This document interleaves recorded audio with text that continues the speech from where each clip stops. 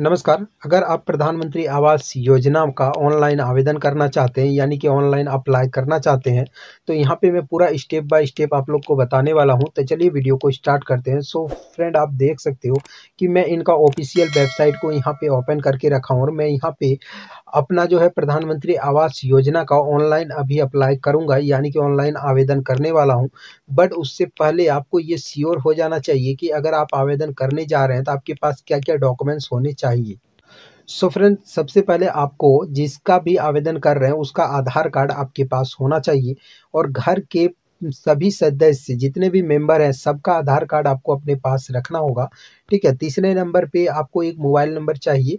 और फिर उसके बाद आपको एक ईमेल आईडी चाहिए, ठीक है? और आपको एक बैंक अकाउंट भी चाहिए, यानी कि जिसके नाम से आप अप्लाई कर रहे हो, उसके नाम से एक बैंक अकाउंट होना चाहिए और पासपोर्ट साइज़ का एक फ़ोटो भी होना चाहिए और आइडेंटिटी प्रूफ, आधार कार्ड या बिजली बिल या पानी बिल कुछ भी है तो चलेगा, ठीक है? यानी कि आपको छः तरह का डॉक्यूमेंट्स अपने पास आपको रखना है। देखिए फ्रेंड, अगर आपके पास छः डॉक्यूमेंट्स है तो आप यहाँ पे अप्लाई कर सकते हो, बट आपको उसके बाद ये भी चीज़ आपको श्योर हो जाना चाहिए। देखिए, यहाँ पे मैं बता दूँ, जो कौन लोग इसका लाभ ले सकते हैं तो सबसे पहले वो भारत का नागरिक होना चाहिए। उसके बाद लाभुक लाभुक जो है, आर्थिक रूप से कमज़ोर होना चाहिए। यानी कि जो फिनेंशियल है, आप आर्थिक रूप से गरीबी रेखा में आना चाहिए। उसके बाद जो भी आप अप्लाई करेंगे, उसके पास कोई भी पक्का मकान नहीं होना चाहिए। लाभुक को किसी अन्य सरकारी आवास पहले से नहीं मिलना चाहिए, ठीक है? यानी कि अगर आपको पहले से कोई भी सरकारी आवास मिला है तो फिर आप इस योजना के लिए अप्लाई नहीं कर सकते हैं। और उसके बाद जो इम्पोर्टेंट पॉइंट है, वो मैं आपको आपको एक बार क्लियर कर देता हूँ। परिवार का निर्धारण एस ई सी सी दो हज़ार ग्यारह के आंकड़े में मतलब यानी कि एस सी सी डाटा जो बनता है 2011 में आपका नाम होना चाहिए, उसके बाद ही आप यहाँ से कर सकते हैं। आयु सीमा जो दिया गया है फ्रेंड वो 16 साल से उनसठ साल के बीच में रखा गया तो चलिए फ्रेंड ये पूरा प्रोसेस मैंने आपको बता दिया। अब मैं आपको ऑनलाइन आवेदन कैसे करना उसका पूरा प्रोसेस आपको करके दिखाता हूँ।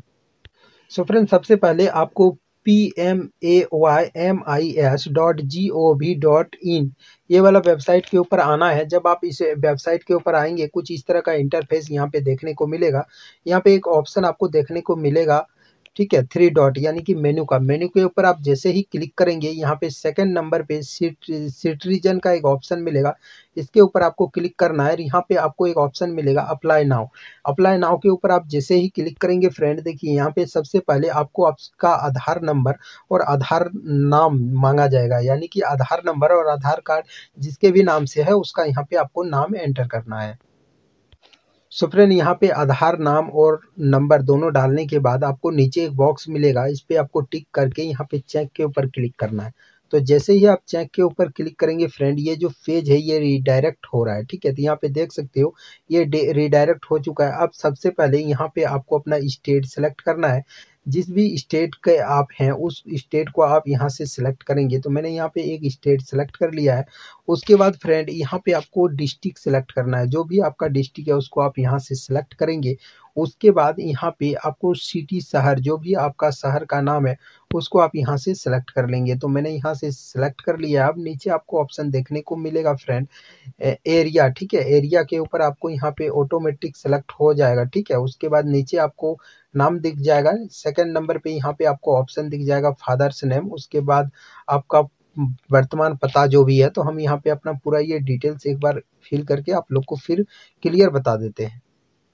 सो फ्रेंड सबसे पहले तो आपको अपना नाम एंटर कर देना है, ठीक है? नाम आप जब यहाँ पे एंटर करेंगे, उसके बाद फादर्स नेम का ऑप्शन आएगा, ठीक है? उसके बाद नीचे आपको आना है, नीचे आप जब आएँगे, यहाँ पे आपको एक काम करना है, आपका जो भी मकान नंबर है, वो आपको वोटर आईडी कार्ड में दिख जाएगा, उसको आप यहाँ पे एंटर करेंगे। उसके बाद यहाँ पे ऑटोमेटिक ये सारा डिटेल्स मिल जाएगा, नीचे जो ऑप्शन आपको मिलेगा, ये पिन कोड का मिलेगा, फिर आपको मोबाइल नंबर का ऑप्शन मिलेगा। ठीक है, इसके बाद आपका आधार नंबर ऑटोमेटिक आपको दिखेगा। उसके बाद उधर एक आईडी आपको देना है। इसके ऊपर आप सेलेक्ट करके कोई भी आप यहाँ पे अदर एक पहचान पत्र देना होगा, जैसे कि PAN card password voter ID तो आप यहाँ से अगर पैन कार्ड है तो पैन कार्ड सेलेक्ट करेंगे। वोटर आईडी तो वोटर आईडी करेंगे। तो हमारे पास पैन कार्ड है तो मैंने पैन कार्ड यहाँ पे सेलेक्ट कर लिया। अब जब आप नीचे आएँगे फ्रेंड तो यहाँ पे देख सकते हो, इसके बाद यहाँ पे आपको ये पूरा डिटेल्स देखने को मिलेगा। सेकंड नंबर पे आपको यहाँ पे परिवार के सदस्य का विवरण देना है। ठीक है तो यहाँ पे आप सेलेक्ट कर लेंगे जो कि किसका कि कौन कौन है आपके परिवार में। तो यहाँ पे जो भी है उसका पूरा विवरण आप यहाँ पे दे देंगे। ठीक है उसके बाद यहाँ से जैसे ही आप स्क्रॉल करेंगे फ्रेंड ठीक है नीचे में आपको लोग को दिखा देता हूँ। यहाँ पे आपको सेलेक्ट कर लेना है जेंडर वगैरह अपना जिसका भी कर रहे हैं उसके बाद आईडी प्रूफ जो भी आप देना चाहें उसको दे सकते हैं। ठीक है और नीचे आएँगे, उसके बाद यस करेंगे, ठीक है? और यहाँ पे आपको अपना एड्रेस वगैरह सारा कुछ यहाँ पे एंटर कर देना है, ठीक है? उसके बाद यहाँ पे एक बॉक्स मिलेगा, इसके ऊपर आपको टिक करना है और यहाँ पे जो आपको कैप्चर दिया हुआ है, ठीक है? मैं एक बार दिखा देता हूँ, यहाँ पे आपको एक कैप्चर दिया हुआ है, इस कैप्चर को एंटर करने के बाद यहाँ पे आपको जो है, यहाँ पे जो है सेव के ऊपर क्लिक करना है। तो फ़िलहाल मैं यहाँ पे सेव के ऊपर क्लिक नहीं कर सकता हूँ, क्यों मैं, क्योंकि मैंने पहले ही ऑलरेडी यहाँ पे अप्लाई कर रखा था। सो फ्रेंड देखिए, कुछ इस तरह से आप यहाँ पे अप्लाई कर सकते हैं। और अगर आपको कोई दिक्कत आता है, ठीक है तो आप हमें फिर से कॉमेंट करके बताइए। मैं आपको फिर से एक नया वीडियो बना के दे दूँगा फ्रेंड तो चलिए, मिलते हैं किसी अगले वीडियो में।